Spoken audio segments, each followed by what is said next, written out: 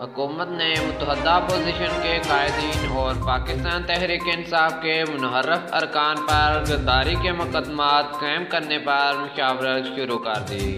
हुकूमत ने अपोजिशन पर बैरून मुल्क फंडिंग के ज़रिए हुकूमत गिराने का इल्ज़ाम लगाया।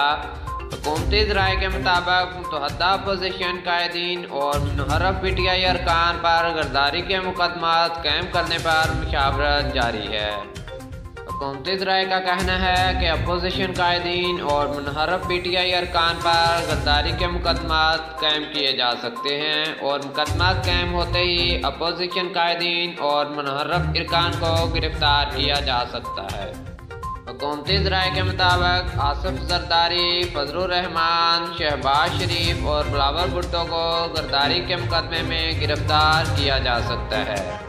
राय बताते हैं कि हुकूमती कानूनी टीम ने गर्दारी के मुकदमा कायम करने की मुखालफत की और हुकूमत को मशवरा दिया कि हुकूमत ऐसे किसी इकदाम से गुरेज करे।